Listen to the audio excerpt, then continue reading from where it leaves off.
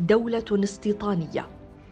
نجح الصهاينة في بريطانيا في استصدار تصريح بلفور رغم ضعفهم وعزلتهم بينما فشل صهاينة ألمانيا في ذلك رغم قوتهم وارتباطهم بالمجتمع الألماني ورغم بذلهم جهودا محمومة لاستصدار تصريح بلفوري ألماني.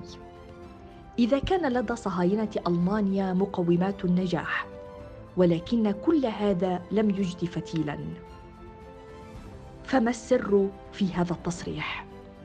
إن تصريح بلفور والدعم البريطاني للمشروع الصهيوني لا علاقه لهما بأي لوب يهودي أو صهيوني قوي أو ضعيف. فالضغط الصهيوني أو اليهودي لا يشكل عنصرا فعالا في عملية استصدار تصريح بلفور وإنه عنصر ثانوي على أحسن تقدير. وحتى الأموال الصهيونية لم تكن سببا رئيسا في تصريح بلفور. فأكثر أثرياء اليهود في بريطانيا كانوا ضد الحركة الصهيونية.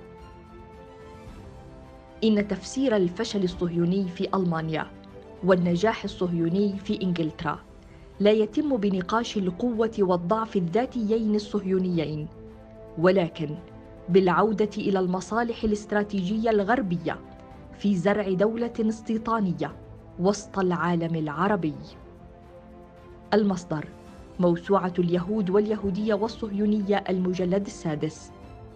للمفكر الراحل الدكتور عبد الوهاب المسيري.